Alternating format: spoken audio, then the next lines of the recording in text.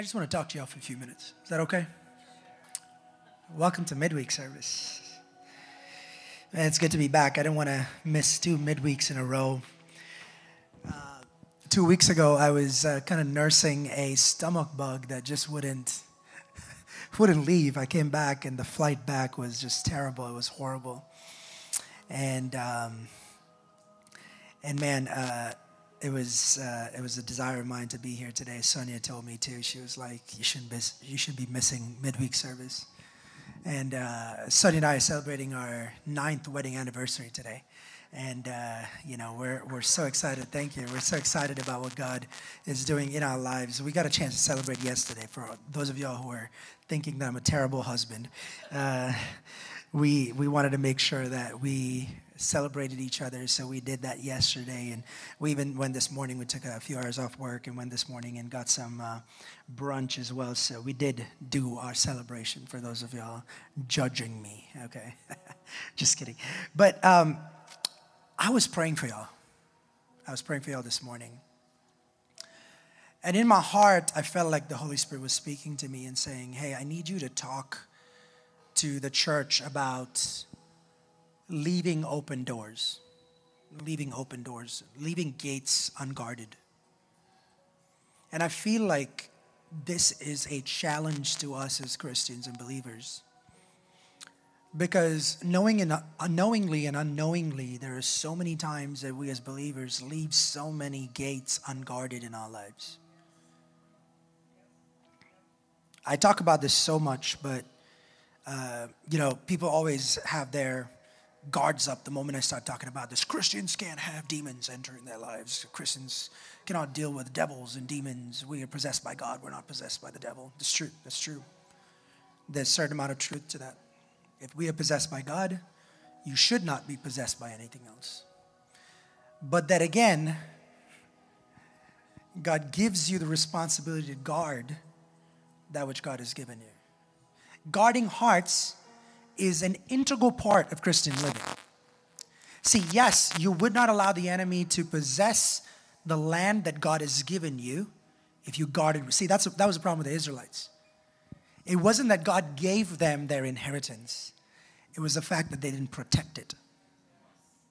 Am I talking to somebody? They allowed all the, the Hittites and the Amorites and the, the Perizzites and all the parasites to invade and enter into their space, which was God's space, because they gave them legal permission to. Am I, am I talking to somebody? It, does, it didn't mean that they were not, it didn't take away that they were God's people. It didn't take away from the fact that they still belong to God and God called them their, his own.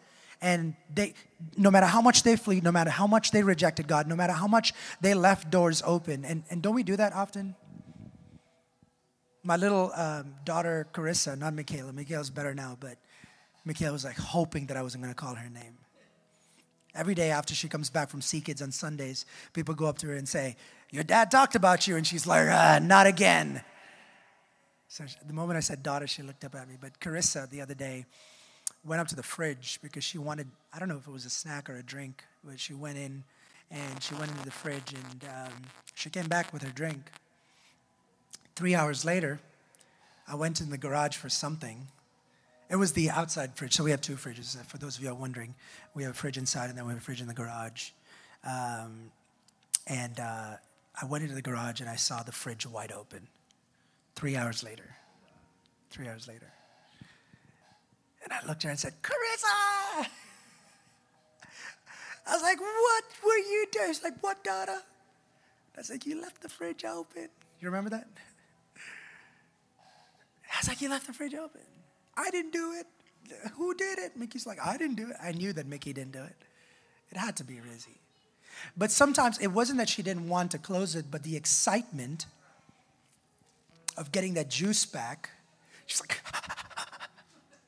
can often leave you leave like, like see the excitement of sin sometimes, the excitement of the possibility what's beyond that gate or what's knocking often leaves us unguarded in our hearts. And for Christians, you have what you let in, what you allow, what you give access to, is what you have. Don't be thrown off by what you deal with in your life because somewhere you gave legal access to the enemy to come into those doors.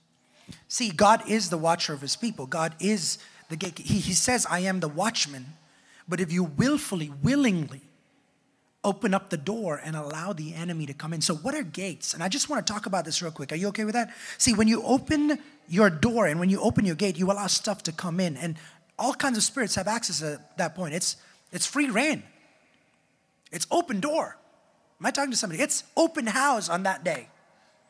You don't, they don't have to take an appointment with you. You have given us, there's a sign out there in your yard that says it's an open house.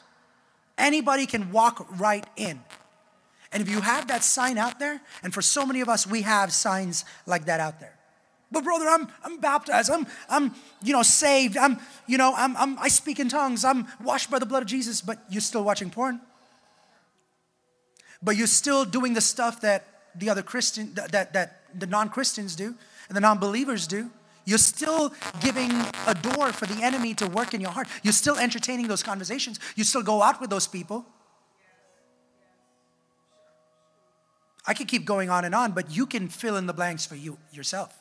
Like, what is your kryptonite? Like, what is that one thing that you can sacrifice and you can give up all day and allow that door to be open because it's the, this makes me feel good.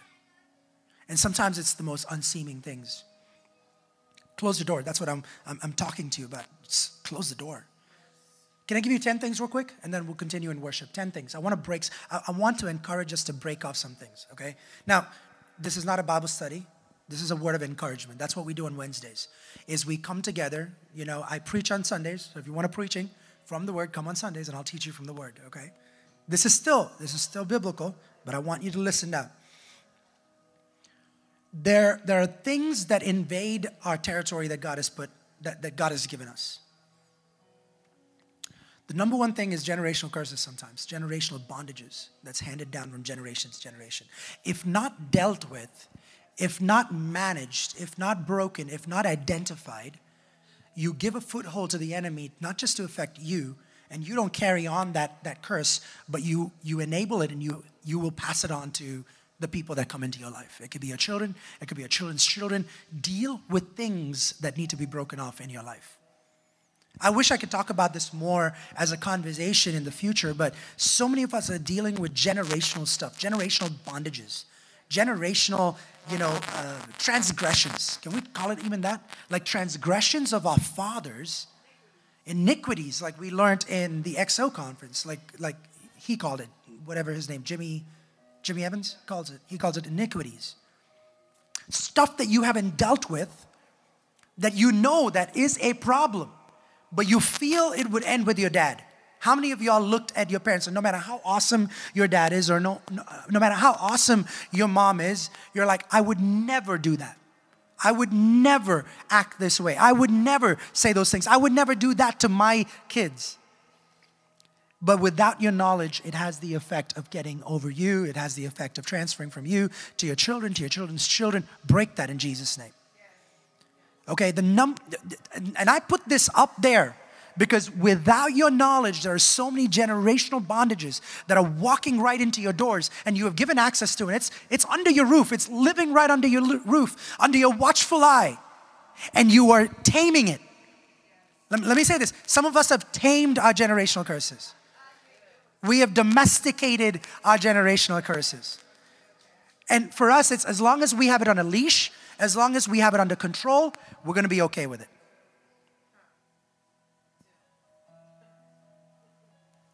And I want to warn us as Christians do not give a foothold to the enemy because if you give him an inch, he takes a. You, you know this. And I want to encourage us please break anything off. From your parents, from your parents' parents, I need to move on. Can I go on? Second one is rejection. And for many of us, it's parental rejection, it's rejection from people of influence in our life. For me, for years, I lived under bondage because I allowed the rejection of teachers that put me down, that reject, not my parents, my teachers. I allowed a woman and what she had to say about me to influence what I thought about me. A woman that was selfish, a woman that had agendas in her life to speak over me and say that I was this and this and this, and labels that I put over my head, and labels that I put on myself because I thought that it was given to me by somebody of significance. Like, who in your life has rejected you? Deal with those rejections. Deal with those rejections before those rejections can define who you are. You will live your entire life. It's a big gap. It's a big, and, and for some of us, it's continuous rejection. For some of us, we can't maintain friendships and relationships with people because we've been rejected at some point in our life. You close off opportunity for future relationships, for future friendships, for future marriages, for future, you know, uh, possible, whatever it is. You close it off because somebody hurt you in the past. What rejections for some of us is parental relationships. I have counseled so many people in my life who have been rejected by their parents, unwanted pre- pregnancies. You know, I counseled a guy that that that at the I think it was at least I'm I'm, I'm just going to go to him. I don't know the correct number, but at least 15 sessions that I did with him, and finally uncovered the fact that the depression and the, the, the, the, dejection that he was going through in life rooted from the fact that from a very early, early on time in his life, he heard from his parents that he was the unwanted child. He was the unplanned pregnancy. He was the one that really was not meant to be, but he was a tolerated one. He was the one that happened. And, and sometimes parents have no filter about that. But I've heard that from parents. Oh, you know, and, and, and, and the kids somehow find out about it, they hear it. Oh, we were not planning to have the third one, but it it's nothing's a mistake by God. It isn't. What you consider a mistake is in God's divine plan. I want to remind if you've been a victim of that, at some point in your life where somebody told you that you were not wanted. In Jesus' name, I rebuke that over your life. And I speak such freedom that I pray that God will break some bondages that you've been living under bondages of rejection. Can I go on? Sometimes it's growing up in broken homes. For some of us, it's the doors of being bro- born and raised in a broken home. And by broken home, I don't mean divorce. You can be from a family where the dad and mom are together, but it could be fights, emotional garbage that you have seen growing up the emotional torture that your mom or your dad have had to go through from the, their significant, their, uh, the, the other spouse. Verbal abuse, physical abuse that you've seen and, and you've seen them tolerate. And you have no idea the number of people that will go through abuse willingly because that's what they saw in their home. If mom went through that and was okay with it, maybe I'm strong enough to go, go through it. I rebuke that in Jesus' name. Do not allow that to come anywhere near your house. Four, getting involved with the occult. Oh, we're Christians. Uh, are we really having this conversation? Yes. Okay. Call it whatever. Call it black magic, call it white magic, call it kundalini, call it, I don't know what the other stuff is. All the demonic stuff. Astrology, can we talk about the number of Christians that go to fortune tellers?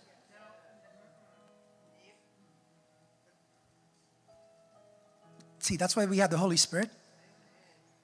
That's why we have discernment, word of wisdom, word of knowledge. That this, these are gifts of the Spirit that you and I got to operate in and walk under that anointing of. Praying for the dead, whorehouses. Can we have real conversations right now? Do not expose yourself. Like for me, growing up, I had to make a conscious I was going through so much torment in my life. And I had to, I, I had to literally accept the fact it was because I was watching scary movies.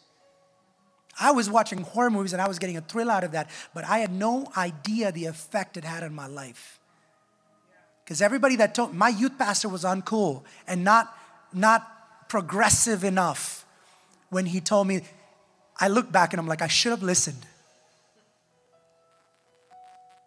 But I treated that again as a domesticated issue. As long as I have it on leash, I'm not gonna. I'm, I'm talking to some of y'all today.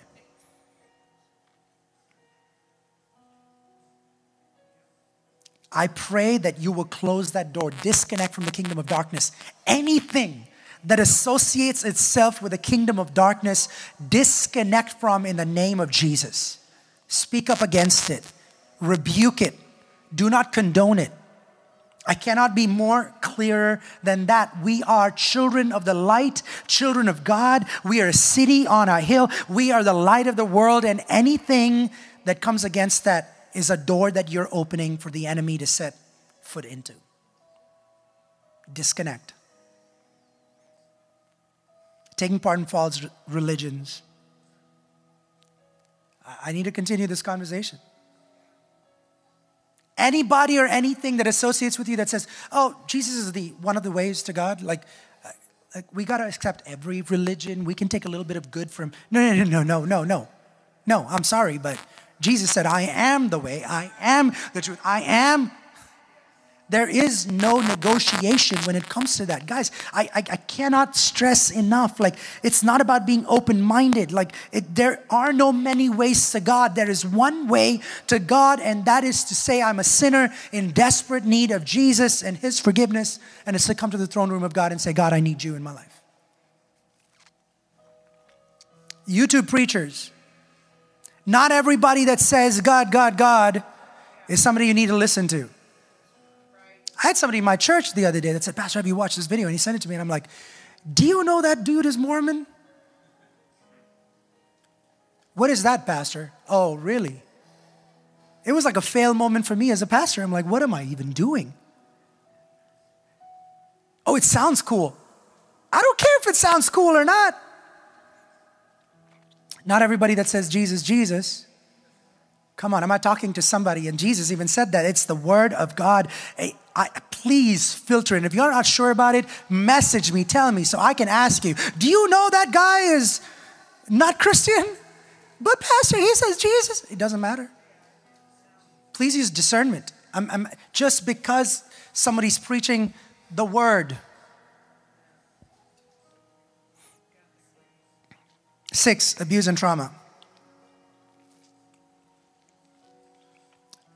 Rejection that's come through going, I, I went through this. I was molested. I was sexually molested as a child by somebody that was supposed to care for me. Uh, and I've, I've talked about this. There's, there's, there's a conversation that I've had before. I took years and years to open up about this. I've had to get delivered from it.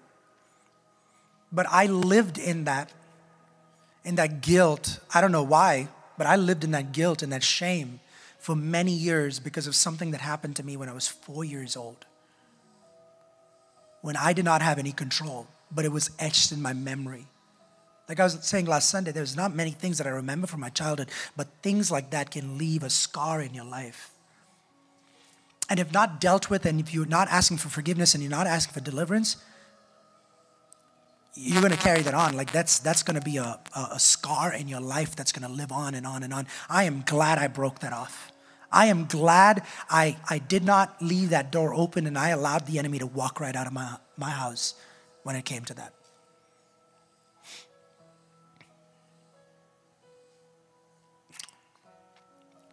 Seven, illicit sexual encounters.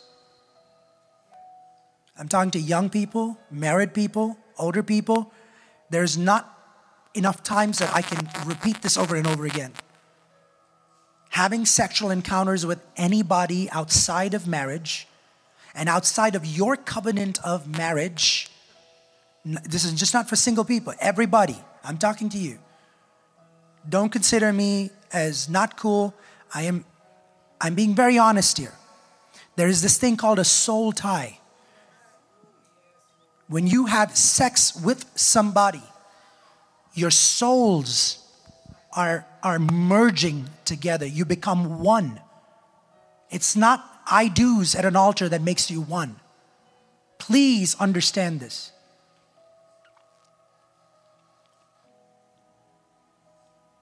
I'm talking to young people that are dating. I'm talking to young people that are serious about marriage. It is easy to get carried away. Sonia and I were having dinner yesterday, and we were having some honest conversations. And we were talking about how God helped us through the times that we were dating to hold our commitment of purity to each other sacred till the time we got married. It was hard, it was difficult, it was the most. And, and, and for some of us, and I'm, I'm talking to, I'm not, I, I really don't want to sound holier than that. That's not the point of it here. I really, I, I want you to hear my heart out on this. And if there's somebody that's not been able to hold on to that, it's not too late. It's not too late to make a covenant with God and say, God, you know what? I'm sorry. I lived outside of my covenant of being in relationship with you. And I pray that that will never, ever happen again. If that's happened to you in your marriage, confess to your wife. Confess to your husband. Come out clean. If it's happened outside of marriage and it's happened in a dating relationship, confess to the Lord and say, God, I am sorry. I have opened the door for the enemy to have a foothold in my life. Rebuke that. Do not allow it to happen again. Does that make sense? Like, I am not sitting here and saying, you're doomed. I'm just saying, ask God. You know now. Open, open your heart and say, God, I'm drawing a boundary. I'm drawing, you know, this line and saying, this is it. I'm not going to do it again.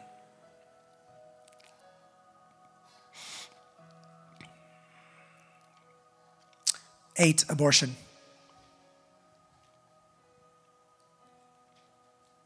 Abortion is murder. Okay? I will scream it out from the rooftops. I will say this till my dying breath, and I will not change it for nothing in this world.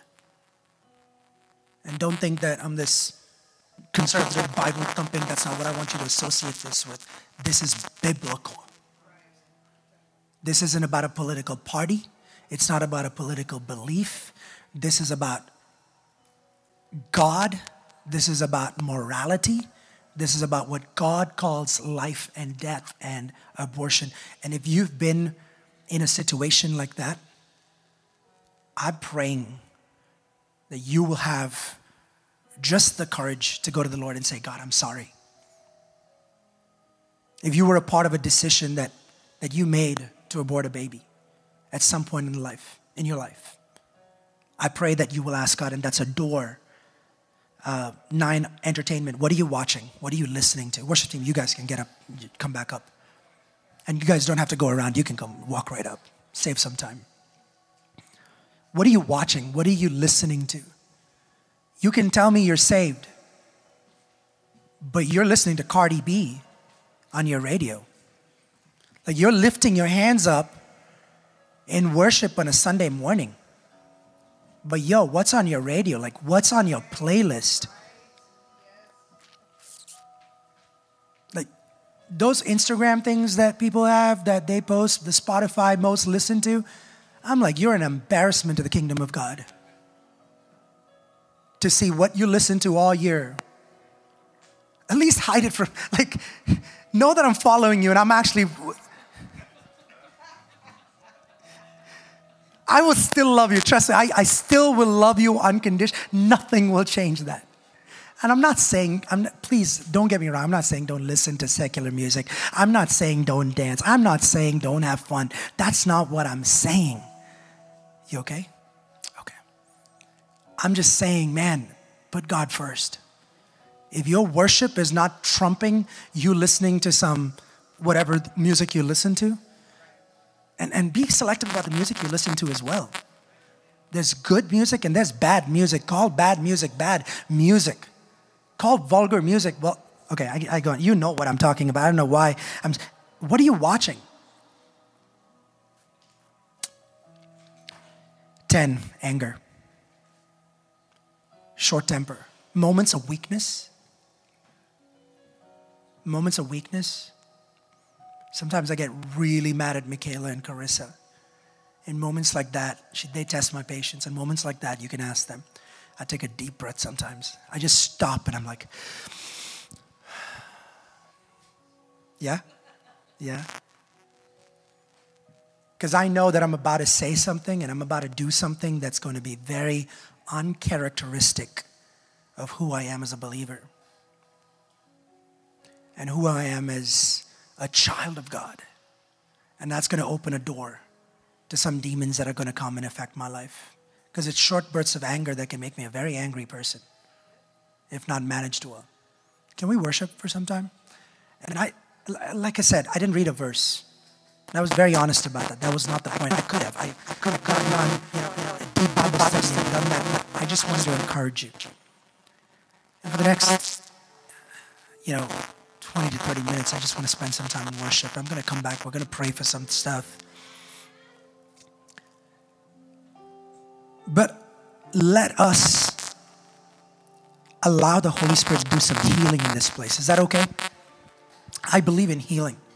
Here's what I also believe in. I, yes, I believe in the power of laying hands, but I also can believe that God can heal you when you have a contrite spirit, when you have a spirit of brokenness, when you can say, God, I, I am broken and I am confessing to you in the presence of God.